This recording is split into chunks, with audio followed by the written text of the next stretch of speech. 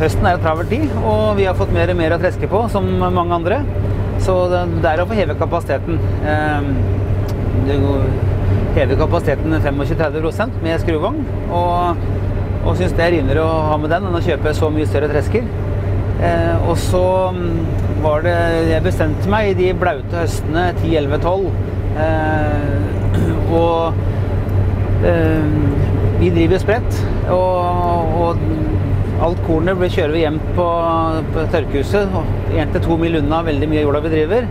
Og de traktora og hengere som kjører hjem kornet på veien, de har mye luft i både traktor og hengere, og egner seg svært dårlig på jordet. De bør egentlig ikke ut på jordet i hele tatt. Og de blaute åra der, så klarte vi ikke å kjøre en meter ut på jordet igjen. Eh, det sklei jo og gikk, og det ødelegger i hvert fall jorda. Så vi drev jo korntransport med treskeren, for å, det er ikke alle jorder som er firkanta. Eh, Vi måtte drive kjøre kornet ut av jordet med, eh, med tresker. Eh, Og da driver vi korntransport med den tyngste maskinen vi har. Så, og vi har noen jorder som er både lange og rare. Og vi brukte jo mer tid på å kjøre kønnet ut med treskeren enn vi brukte på treske, så da bestemte jeg meg at det var siste året uten skruvogn. og har ikke angra etterpå.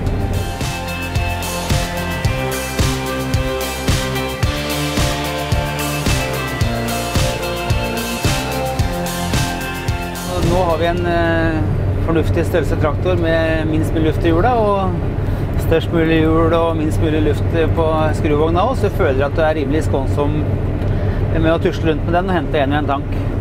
Så mm, mens du har eh, effektive eh, hengere og traktorer med mye luft som går på veien.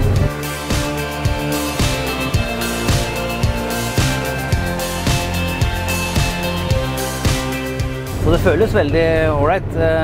Men Du må ha mannskap til å sitte der, men eh, de gangene du ikke har med noen til å kjøre, og du må drive og treske uten skruvogn, så føler en seg handikappa på hender og føtter. Så du blir ganske avhengig av den skruvogna. Så det er iallfall ikke tema for oss å drive uten. Det, det er ting vi er veldig fornøyd med.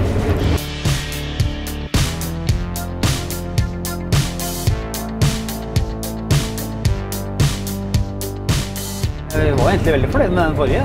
Det fungerte bra. Men eh, vi satser veldig hardt på høstkønn. Og, mm, og eh, når det er travelt om høsten, skal vi harve jordarbeidet og, og så. Så vi mangler egentlig en traktor. Eh, så mm, med en større henger så kan vi klare oss med eh, skyss på veien. Så vi kan frigjøre en traktor og så med de travle dagene. Så har du mer buffer. Eh, at, du, at du kan fylle nesten en eh, eh, en veihenger med, i avlesevogna.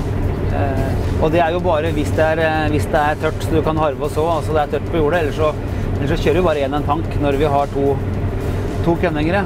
Og så var det det eh, Vi har jo hatt veldig sans for den eh, vi, vi har ca. 1000 mål som vi kjører til tørkehuset, og da at du bare kan sl- sl- slippe ut eh, rett i sjakta. og og, og bogghenger med de store hjula, så føler jeg at du gjør noe mer ugagn på jordet, egentlig.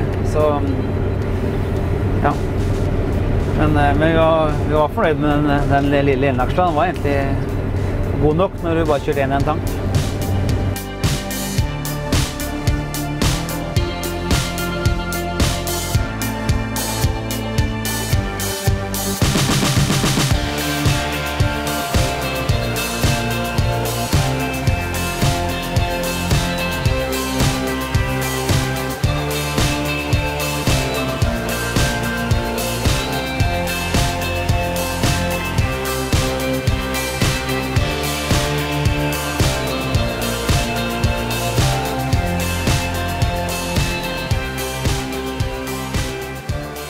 Det fungerer veldig fint så jeg har en eh, flink sønn på navlesevogna. Eh, Jeg tenker bare når han kommer opp på sida når eh, tanken nærmer seg full, så, mm, så kjører jeg bare ut tømmerrøret og setter i gang. Det er hans ansvar å få all kønnen opp i hengeren, så jeg tenker kun på treskinga. Og han følger, følger farta til treskeren og, mm, og ligger pass fra.